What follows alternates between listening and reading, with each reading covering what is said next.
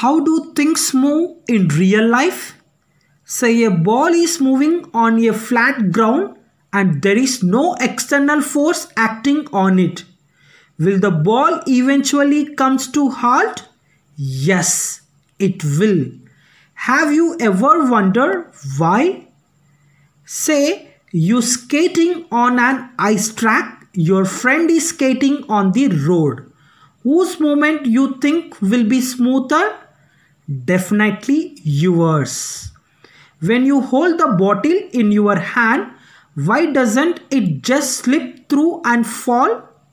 Sometimes when you are walking in a mall, do you remember seeing a caution sign to warn you up on the floor being wet? What explains all this? The answer is friction.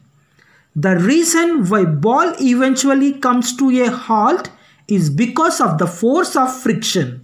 The reason why skating on an ice track because the force of friction is lesser than that.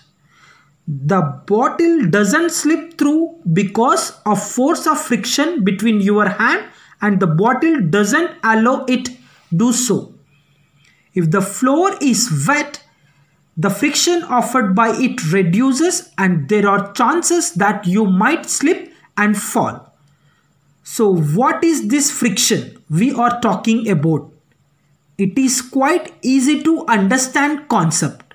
Friction is nothing but a force. It is the force exerted by a surface where an object moves across it. In the first case, when the ball is moving in this direction, the force of friction is acting in the opposite direction. The force of friction offered by the ice is lesser than the force of friction offered by the road. Hence, skating on the ice track is easier and seems effortless. The bottle does not slip down because surface of your hand offers friction in the upward direction.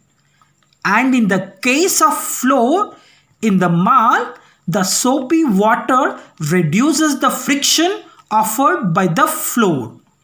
In the coming videos, we learn lot more about friction.